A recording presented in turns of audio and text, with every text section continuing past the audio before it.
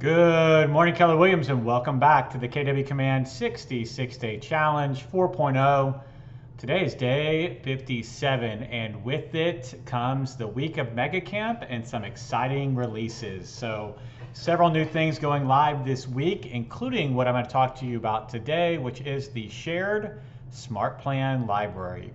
So, to dive into Smart Plans, you're going to click on the fourth applet down here on the left hand side.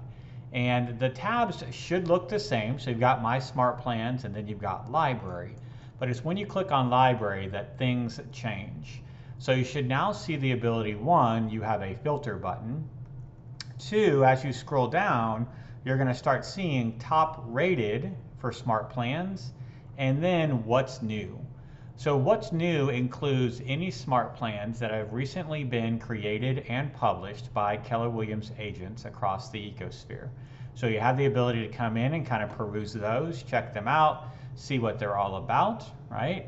Next, you can come up and check out the top rated smart plans and see those. I will say that my follow-up smart plan from day five and six has already been loaded here.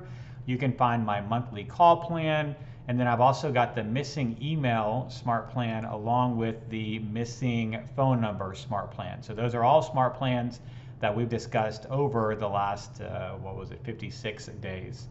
So uh, feel free to check out any of these smart plans. Uh, you can always hover over the steps and then from there hover over the individual steps to see what's actually included in each one of those steps. From there, you can decide if you'd like to add it to your library, and if so, just click on Add Smart Plan.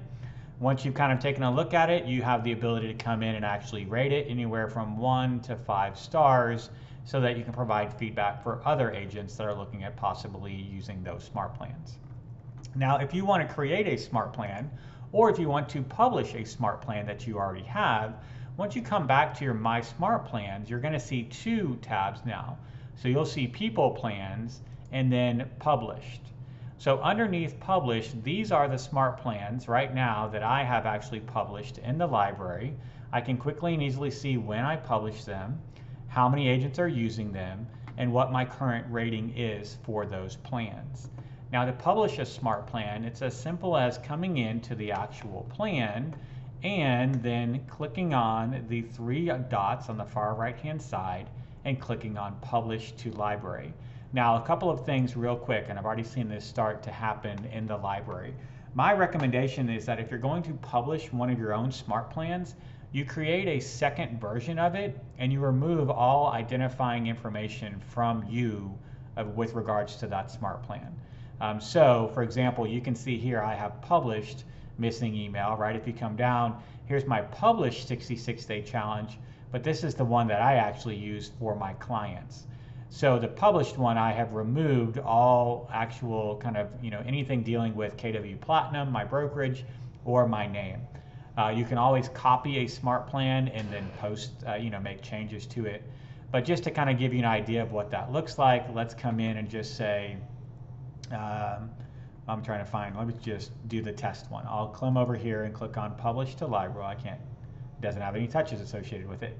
Uh, all right, so here's one, my Market Center R2 appointment. So I could click on Publish to Library, and it's going to open up a new tab. And basically it'll say, what do you want the plan to be, right? And what is it, the plan name, and I can come in and change the plan name.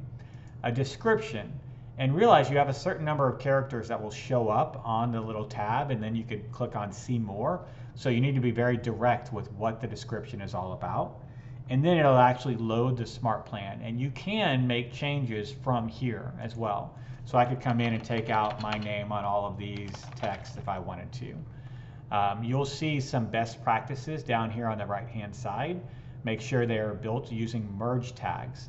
So instead of saying Marty, I could use agent name, right? So if you were agent first name, if you were planning on building out this exact smart plan, which you wouldn't, this is just an example, instead of putting in your name, put in agent first name.